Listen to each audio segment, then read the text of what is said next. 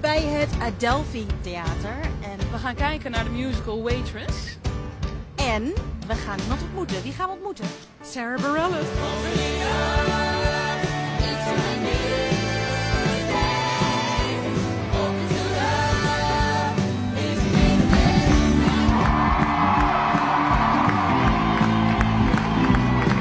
De eerste reactie eh, is bij mij, wauw, wauw. Gewoon echt eh, blown away. Ik vond het heel erg mooi. Echt heel erg mooi.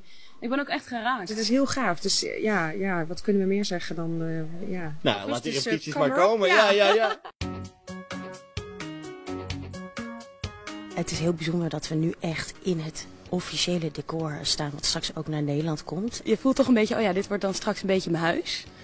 En daar ga ik dan een beetje in werken elke avond. Heel leuk, echt. Maar ik krijg er zoveel zin in dat ik ook een beetje ongeduldig word langzaam. She's imperfect, but she tries. She is good, but she lies. She is hard on herself. She is broken and won't ask for help. Weet ze bijna venijnig haar lijf te verleiden.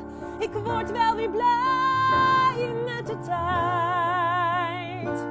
Ze is kwijt, maar ze was ooit van mij.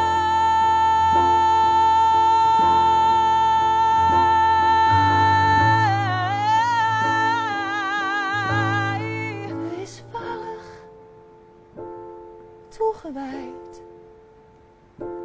Ze is eenzaam, bijna altijd. En dat alles gekneed als het deeg in haar droombakkerij. Ze is kwijt, maar ze was ooit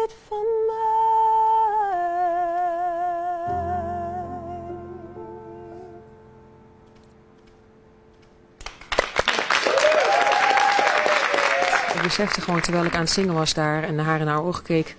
Dat ik dacht, ik, ik sta gewoon met Sarah Bareilles hier te zingen. En het is, ik ben helemaal niet zo snel een fan of zo, maar ik bewonder haar al zo ontzettend lang. Het was een beetje emotioneel. Ik, eh, ik was aan het kijken en aan het luisteren en ik dacht, daar zit gewoon de vrouw die het gecomponeerd heeft. Heel mooi, heel intiem. Dat vond ik echt mooi daaraan.